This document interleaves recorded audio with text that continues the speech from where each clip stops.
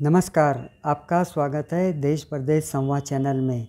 आज हम बात करेंगे पाक फौज के प्रमुख जनरल असीम मुनीर द्वारा नियंत्रण रेखा पर हाल में ही की गई यात्रा के बारे में, जहाँ पर उन्होंने अपने फौजियों को कश्मीर की कस्में दिलवाई हैं। रस्सी जल गई, बल नहीं गया। पाक फौज और उसके जनरलों के लिए शायद यही कहा जा सकता है। पाकिस्तान के आर्थिक हालात किसी से छुपे हुए नहीं हैं और पाकिस्तानी जनरल असीम मुनीर नियंत्रण रेखा पर फौजियों को कस्में खिलवा रहे हैं कश्मीर की। पाकिस्तान के थल सेना प्रमुख जनरल असीम मुनीर ने गुरुवार 6 अप्रैल को पाक अधिकृत कश्मीर में नियंत्रण रेखा के पास स्थित अग्रिम चौकियों की अपनी यात्रा के दौरान कहा कि पाकिस्तानी सेना हर तरह के खतरे से देश की संप्रभुता और क्षेत्रीय अखंडता की रक्षा करेगी। पाक फौज के propaganda wing, inter services public relations के अनुसार, जनरल असीम मुनीर ने कहा कि पाकिस्तानी फ़ौज कश्मीरियों के उचित कारण का समर्थन करने के लिए दृढ़ता से खड़ी है। पाकिस्तान में दस्तूर है कि ऐसे मौक़ों पर कश्मीर का दुकड़ा ज़रूर रोना चाहिए। जनरल मुनीर ने भी वही किया। कश्मीर पर अवैध कब्जा करने का आरोप लगाते हुए जनरल मुनीर संयुक्त राष्ट्र के प्रस्ताव का राग अलापना नहीं भूले। जनरल मुनीर ने कहा कि पाकिस्तानी सेना संयुक्त राष्ट्र के प्रस्तावों के अनुसार जम्मू और कश्मीर का समाधान चाहती है। पाक फौजियों को जनरल मुनीर ने कसम दिलवाई कि वे स्थानीय आबादी की यथासंभव मदद करेंगे, दृढ़ रहेंगे और पूरी ईमानदारी तथा समर्पण से अपने फ़र्ज़ निभाएँगे।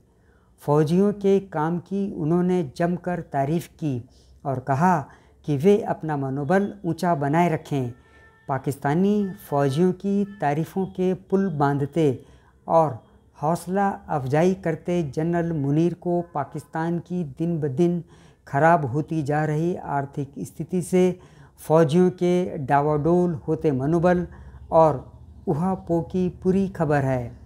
वहीं भारत ने पाकिस्तान को दृढ़ता से कहा है कि केंद्र शासित प्रदेश जम्मू कश्मीर और लद्दाख भारत के अभिन्न और अविभाज्य अंग हैं और हमेशा रहेंगे। गौर हो कि भारत और पाकिस्तान के संबंध कश्मीर और आतंकवाद के मुद्दे पर तनावपूर्ण हैं। वहीं भारत सरकार की ओर से 5 अगस्त 2019 को संविधान के अनुच्छेद 370 को निरस्त करने, जम्मू और कश्मीर के विशेष दर्जे को रद्द करने तथा राज्य को दो केंद्र शासित प्रदेशों में विभाजित करने के बाद दोनों देशों के संबंध और भी खराब हो गए और व्यापारिक तथा राजनयिक बातचीत भी बंद हो गई।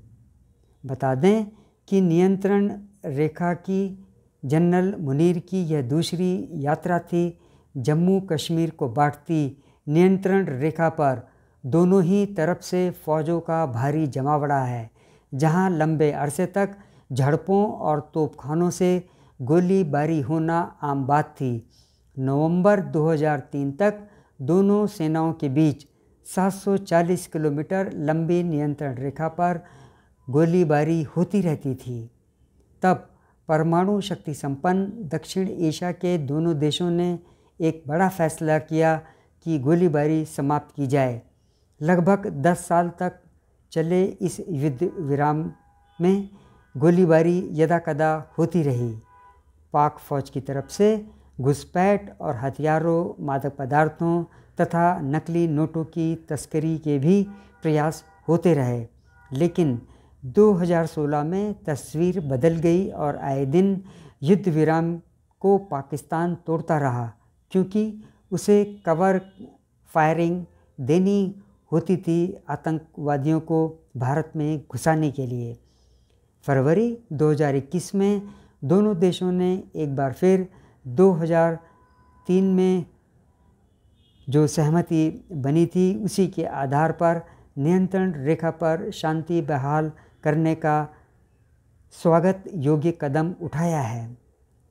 पर फरवरी 2021 में सीमा पर शांति बनाए रखने पर जो आपस में सहमति बनी थी, उसका बेजा फ़ायदा उठाते हुए पाकिस्तान ने ड्रोन का बेजा इस्तेमाल भारत में आतंकवाद को बढ़ाने और अस्थिरता फैलाने में किया है। लेकिन जब से भारतीय सेना ने ड्रोन के खिलाफ कार्रवाई करना शुरू किया है, तब से ड्रोन का पाकिस्तान से आना ज़रूर कुछ कम हुआ है। आज के इस अंक में बस इतना ही। आपसे अनुरोध है कि आप मेरे इस चैनल से जुड़े रहिए और इसे सब्सक्राइब भी कर लीजिए। जय हिंद।